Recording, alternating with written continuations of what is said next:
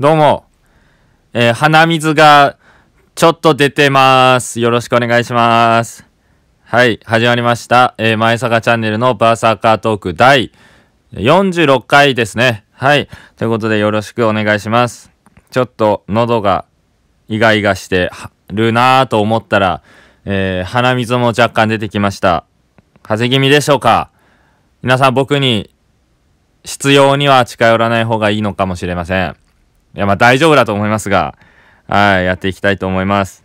はい、ということなんですけども、えー、毎週金曜日夜8時更新と、えー、なっているこのラジオ、えー、投稿が遅れてしまいました。はい。えー、待っていた方がいれば申し訳ありません。うん。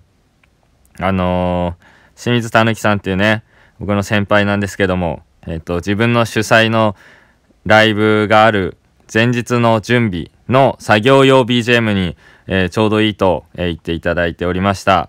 で、今日、えー、土曜日ですね、えー、清水さんの主催ライブがあります。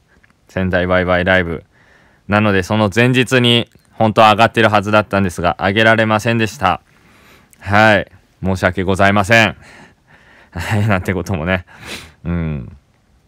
あったんですけど、まあ、ちょっといろいろね、忙しくて、東京行ったりとか、えー、その後イベント行ったりとか、えー、そういうのがあって、えー、できるだけラジオはこう、キンキンで撮りたいので、えあんまりため撮りみたいな感じには、えできないので、ちょっと、えそこでちょっと時間なかったですいませんっていうね、え感じでやっていきたいなということでございます。はい。でですね、もう一個謝んなきゃいけないのが、えっ、と、前回の放送で、前々回の、えっ、ー、と、コメントを読むのを忘れていたので、前々回分と前回分のコメントを、えー、まとめて読むような感じでいきたいと思います。はい。えー、あ、その前にね、えっ、と、生配信も、えー当節配信ね、えー、毎回聞いてくれてる方ありがとうです。まあ、あのー、ノルマが徐々に増えることによって、えー、毎回ですね、あ、初めて生配信に来れましたみたいな人も、え増えてきて嬉しい限りです。ただね、やっぱり最初の頃のように本当にこう1分で即本当に終わってしまうみたいなことはなくなってきてですね、えまだ、まあなんかちょっと時間は伸びてはきてるんですけども、えまあこっからが、まあ本番かなという感じで、えー、思ってますね。うん。まあでも見た感じ30人ぐらいまでは、えー、この感じのペースで続けていけるのかなという感じでね、えー、非常に嬉しく思います毎。毎日やってることなんですけど、えー、皆さんできればね、え僕の、記録どこまで行くのかというのを、え注目して、え見てもらえればいいんじゃないかなと思いますね。うん。では、えコメントちょっと読んでいきますか。えー、ということで、えー、まず、えー、これかライダーさんですね。ありがとうございます。え私は基本フルで聞いてるけど、え2倍速だと半分の視聴時間換算になっちゃうのかしら？ということで、えっ、と、まあ、収益化を目指して、えやってる自分のチャンネルですけど、え登録者数と、えっ、と、あと、再生された時間ですね。その合計値が、えっ、と、基準になってくるんですね。で、まあ、倍速視聴したら、その10分の動画を倍速視聴したら5分しか見られてない計算になっちゃうのかしらっていうことなんですけど、あの、これ一応ちょっと軽く調べてみて、本当にこう明確な公式な回答ではないんですけど、多分そういう半分換算にはならないんじゃないかっていうのが、あまあ調べたら出てきましたね。10分の動画を5分で見たところで、まあ、カウントはされてるから、その下のゲージ上はね、数字上はこれカウントされてるから、えー、多分大丈夫だと思います。うん。だったらもうね、えー、2倍速でも何でも、ね、高速で聞いてください、皆さん。あの、ある意味倍速を推奨するかもしれないですね。はい。倍速でババッとね、えー、過去作、僕の過去の回も見ていただければいいんじゃないでしょうか。はい。ありがとうございます、ライダーさん。はい、続きまして、えー、トレインさんですね。えー、仙台ワイワイライブ漫才編お疲れ様でした。えー、漫才めちゃくちゃ面白かったです。ツイッター、現 X に上げてた、えー、台本の画像を見てあれで覚えられるのすごいと思いました。どうやってネタ合わせしたのか気になります。あれでセリフとか動きとか合わせて、え、これでいこうとなったやつを本番で再現できるのはすごいですということで、え、いただきました。ありがとうございます。えーと、これも時間が空いちゃってるんでね、えっと、漫才をこの前やったんですけど、えー、っと、それ YouTube に、えっと、上がってます。はい。えー、ピン芸人同士の漫才みたいな、えー、タイトルで、え、何個か前の動画の方で、えー、上げました。えっと、ピン芸人のヤナっていう、え、ことを俺のコンビでやってるやつを、内見っていうね、え、タイトルのやつあげました。えー、そうなんですよね。ツイッターで台本をあげたんですね。だからその、ホワイトボードに、えー、自分、俺のボケをこう、箇条書きにしたやつを あげたんですけど、まあ確かに台本、あれが台本で、まあこ、その動画をまあ見てくれたらし、漫才動画見てもらえたらありがたいんですけど、あれも結構、だからもともと漫才の、えー、コンビではないし、自分のピンネタもいろいろ忙しいから、ちょっと準備期間はちょっとあんまりなかったんですよね。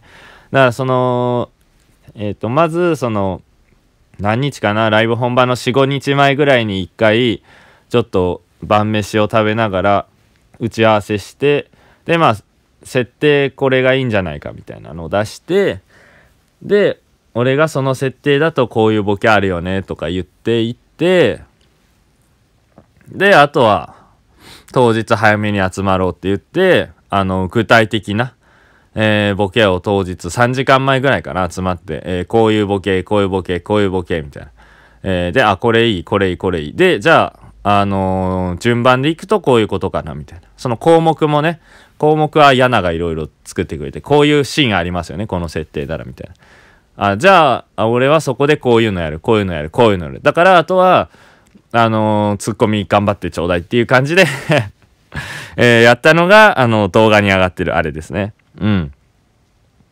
だから、あのー、結構出たとこ勝負というか、お互いはあまりお互いの、えー、セリフとか動きに関与をあまりしていない形ですね。うん。設定が1個決まっていて、俺は、あの、やりたいボケだけをします。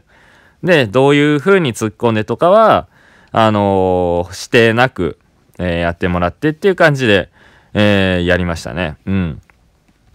だいざ本番になると、結構やっぱ熱量が高くてですね、その日自体が結構どんどん終盤になって盛り上がってきてる感じがあったんで、えー、ここにそこに負けないようなこう熱量でって、まあお互いになったんでしょうけど、俺はもともと結構大声出すキャラで行くスタンスだったんですけど、そのツッコミのヤナの方もなんか、すごいかかってましたね。なんかテンション上がってて、えー、そう、俺の想像してた1.5倍ぐらいの、えー、パワーでやってたので、えー そこはちょっと実はびっくりしながらやってたんですけど。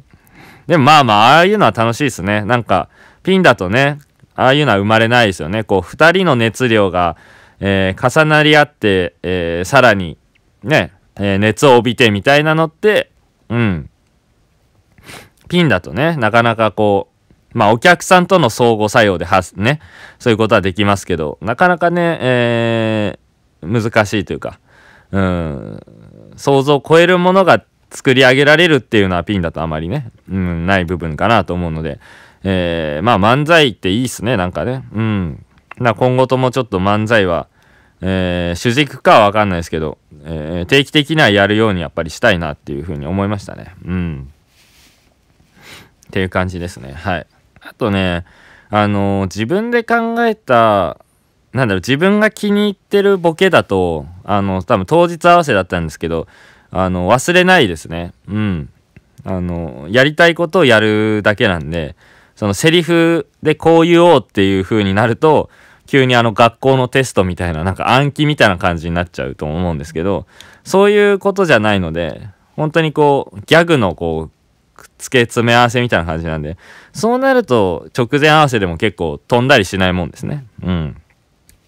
流れでいけちゃうからっていうのはね、えー、ありますね。はい。ということで、ここまでが前々回までのコメント。で、次からが、えー、前回のコメントを、えー、読んでいこうかなという、え、感じです。はい。え、っと、え、ほや、まあ、萌えさんですね。ほや100人食べさせチャンネルですね。はい。え、ひらがなで前坂、カタカナでチャンネルのとこ、その時は何も思わなかったけど、え、話聞いて笑ったと。えー、そしていつもスタッフしてくれてありがとうということで、えー、どういたしまして。えー、萌さんありがとうございます。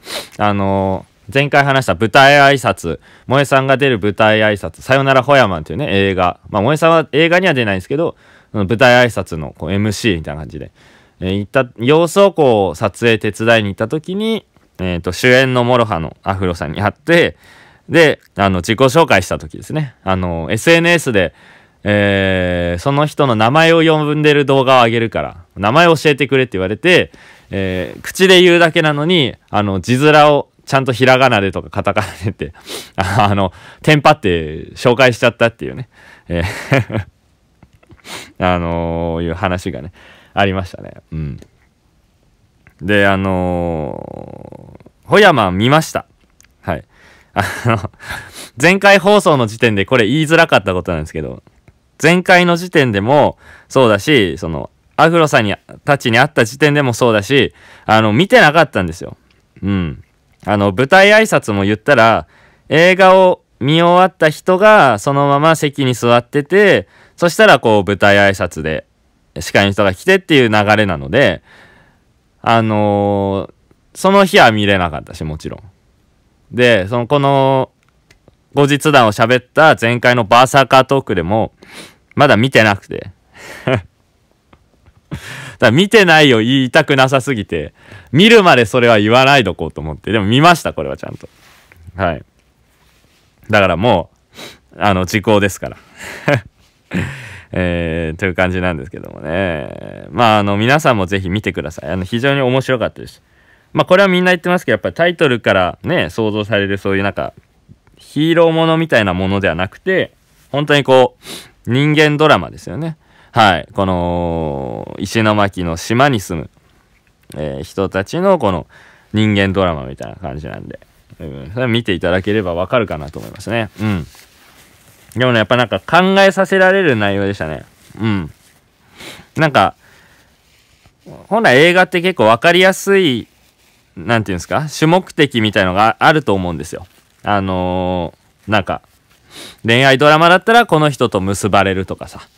ね、それこそ、ね、なんかヒーローものだったら、この悪を打ち倒すとかさ、あと、その人になんか夢があったらさ、なんかプロ野球選手になるとかさ、なんかね、俳優さんになるとか、なんかそういう夢があって、その夢を叶えるために頑張るぞみたいなのは、まあそ、そういう目線で、え、見て解決したしないみたいな、すごい単純な作りになってると思うんですけど、なんかそういうのがえー、はっきり提示されるような、えー、感じではないですよね作品映画を通してみた時に、うん、だけどでも思うのがでも、まあ、人間って本来そうだよなっていうのはありますよね。うん。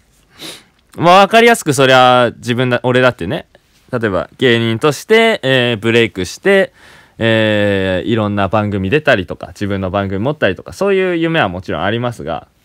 でもなんか、それだけじゃないですか、ないじゃないですか、人生って。いろんななんか家族とのね、えー、その、家族関係とかさ、それもし恋愛とか友情とか、あと、なんかね、その、バイトしてたバイト先でのとかさ、その、自身の、ね、その過去のバックボーンとかさ、なんかいろんな、だそれが叶えばもう全て OK、ちゃんちゃん、ハッピーエンドってわけじゃないですよね。だから仮に自分が、あのー、ゲイでね、すごい有名になったとしても、それだけでハッピーっていうわけじゃなくて。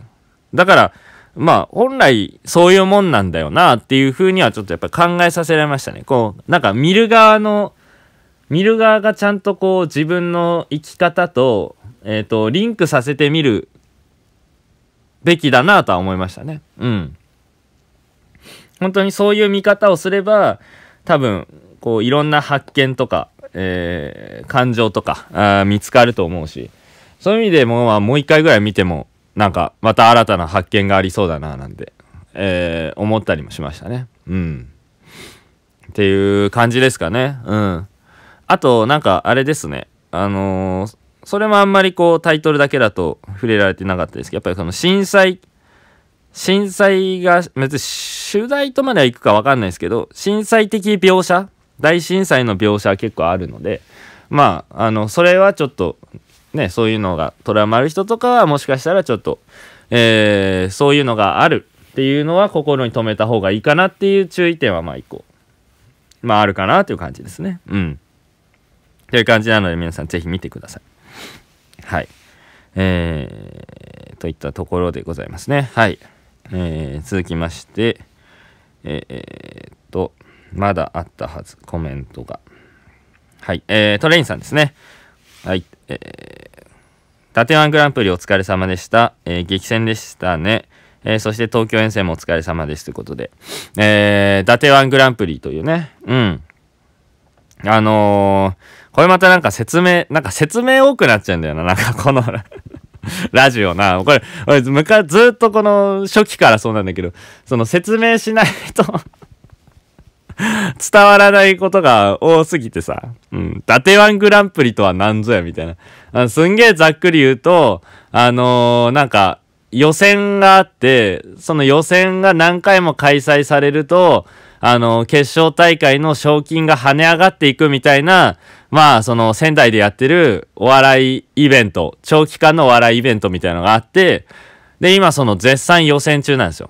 で、その清水さんが今、頑張って芸人の日程聞いて、割り振って、予選この日やりましょう、この日やりましょう、みたいな感じで、えみんな出てて。で、まあその日3組、4組ぐらい出て、で、1位がもう決勝、出れますよ、みたいな。で、残ったメンバーで、えー、賞金争う。現在確か賞金がいくら ?12 万か24万ぐらいにまで行ってますね。それが予選がどんどんどんどん増えるたびに、えー、賞金が増えていって、まあ最高100万円だなんて、えー、言ってますけども。うん。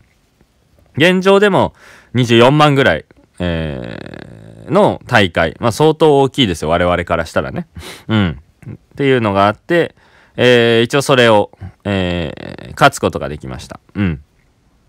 あの、これこそトレインさんと、えー、清水さんが組んでる10席っていうコンビと、あと、えー、正義正義さんですね。社会人芸人、正義正義さん。そして私というえー、三つどもえだったんですけども、あのー、まあ、一応そこを制しまして、えー、勝ち取ることができました。決勝の権利をね。うん。その前の回がね、ちょっと負けてしまってね、えー、2回目の挑戦という形になったんですけども、えー、無事勝つことができて安心しました。一安心ですね。え、負けたらまた、あ、また勝ちに、ね、行かない、また出ないといけんのかっていうね。うん。えー、部分はありましたけども。えー、1個勝てて、えー、賞金の可能性を残したので、一安心でございますね。うん。まあ、どういう感じになりますかね。決勝がどういう、えー、ルールでやるかとかもわからないので、ちょっと先行きはあれですけど、私、その、そういうの結構得意ですので、一発勝負みたいな。えー、まあ、ちょっとワンチャン勝ち取りたいなと思いますね。うん。じゃあこれ出場者の中でも話題になったんですけど、これ賞金がね、どんどんどんどん跳ね上がってきてるわけで、で、それが、あの、いわゆるその東京の芸人さんとかに知れ渡った時に、あの、寸前で取りに来ちゃうんじゃないかっていう可能性はありますよね。寸前で伊達湾エントリーしてきて、優勝して何十万はかっさらうみたいなね。清水さんやら我々がお膳立てしたものをね、上げてきたその優勝賞金をね、えー、全部東京とかの人に、全国区の人にかっさらわれてしまうみたいな。まあ、それも実際ありえますからね。別に。なんか、出現に、出演に縛りがあるわけじゃないから。うん。だから、なんか、みんなにしてほしいイベントではあるけど、反面あんまり知られたくない部分でもあるというね。えー、そういった大会。まあ、面白いですね。うん。面白い試みにはなってて、あの、非常に盛り上がってますんでね。うん。その辺も嬉しいと思いますよはい。ってな、えー、感じでございますかね。まあ大体そんな感じですね。うん。まあ直近で言うと、えー、単独ライブ、ぜひお越しください。えー、ゲストを2人呼びました。えー、若林セシルとアリっていうね、えー、小学校の先生をしながらちょっとお笑いもやってるみたいな人たちが来ます。勤労感謝の日ですのでね、えー、小学校の先生はもとよりね、いろんなお仕事されてる方に感謝をしながらというね、え、そういうイベントになりますんで、え、北目町チーライズスペースで6時から、と予約制ということで一応やってますんで、えー、ツイッターの方でぜひ連絡をしてもらえればと思います。うん。てなもんで、えー、大体こんな感じですかね。え、あのー、今から本当にもうまた出かけないといけなくて。もうなんかバタバタなんですよね。だから、えー、ちょっとこの辺にしたいと思います。次回は必ずね、金曜日配信できそうな、だと思いますんで、えー、聞いていただければと思います。前坂チャンネルのバーサカトーク第46回でした。第47回で、えーお会いしましょう。それではさようなら。